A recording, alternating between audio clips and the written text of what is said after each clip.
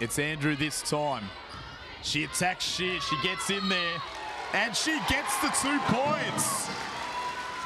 Well, Andrew, MVP in the championship game. Um, just tell us how you're feeling right now.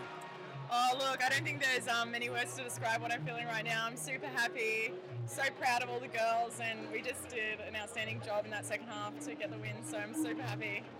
Yeah, what was said at half time or after that first quarter? Because, uh, you know, they did get the jump on you. Yeah, they did get out to a um, bit of a lead. I think it was 8 0, and um, that was a bit of a worry, but um, we just kind of discussed that we had to lock Kayla down. They were getting to the boards and we weren't boxing out, so we really had to knuckle down on those players going to the boards. So I think that's the key that um, brought us back into the game. Uh, two championships in, two years uh, with different clubs. Is this any different to last year's team?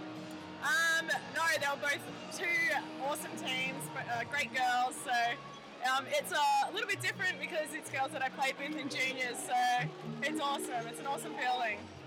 And your second with Brisbane, uh, how's this compare to that one? It must seem like a while ago now. Yeah, that was in um, 2009, so it was a while ago. I was just a youngin. I think I was 17. So no, um, the, the feeling is definitely the same. It's an awesome feeling, and um, yeah, I'm just super excited.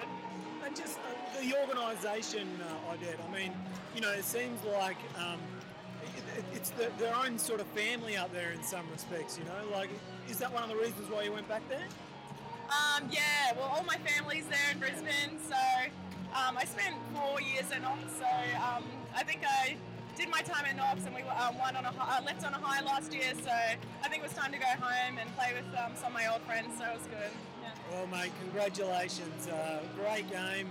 Um, go and celebrate it with your friends. Thank you very much.